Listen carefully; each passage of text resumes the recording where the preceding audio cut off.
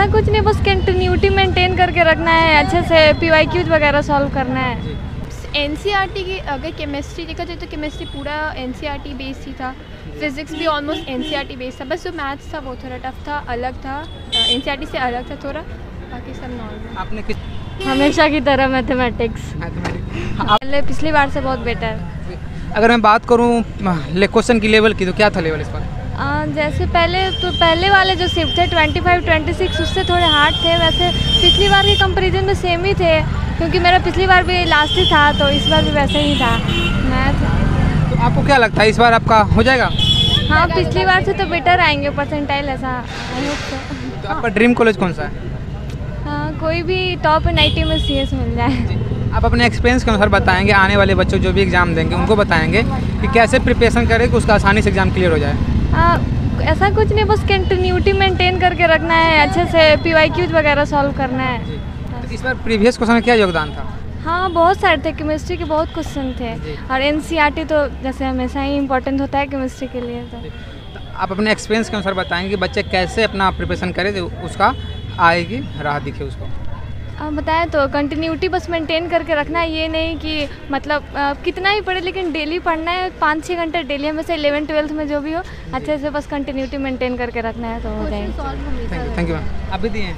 हाँ मैं कल दी थी। आपका नाम क्या है? खुशी सिंह। आपने कितना क्वेश्चन अटैम्प्ट किया? Forty four. तो सबसे ज़्यादा किस पोर्सन से क्वेश्चन आया था? ऑर्गेनिक से तो नहीं लेकिन इन इन ऑर्गेनिक से बहुत सारे क्वेश्चन थे। इस बार पेपर की बात करूँ तो कैसा था इस बार पेपर मॉडरेट था। सबसे हार्ड कौन सा सब्जेक्ट लगा आपको? हमेशा की तरह मैथमेटिक्स मैथमेटिक्स आपने कितना क्वेश्चन अटैम्प्ट किया? मैथमेटिक्स में मैंने सेवनटीन एटीन क्वेश्चन अटेम्प्ट आप आप अपने एक्सपीरियंस के अनुसार बताएँगे जो भी बच्चा आने वाले हैं उसको क्या गाइड करेंगे उसका आसानी से एग्ज़ाम निकल जाएगा?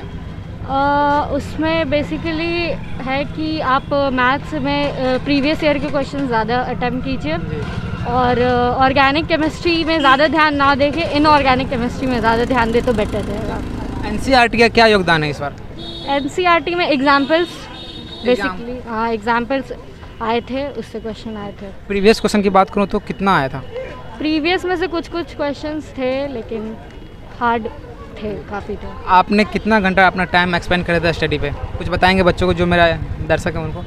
मैंने तो ऑनलाइन कोर्स लिया था फिज़िक्स वाला का उसी से प्रिपरेशन किया। अभी ट्वेल्थ देने के बाद फ़र्स्ट मेरा ईयर है जेई में। थैंक यू मैम थैंक नाम क्या आपका? वैष्णवी नारायण कितना क्वेश्चन आपने अटैम्प्ट किया? फोर्टी आपका एग्ज़ाम कैसा गया अभी?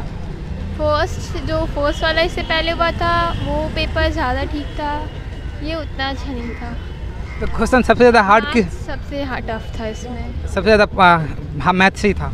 हाँ मतलब टफ थोड़ा मैथ्स था।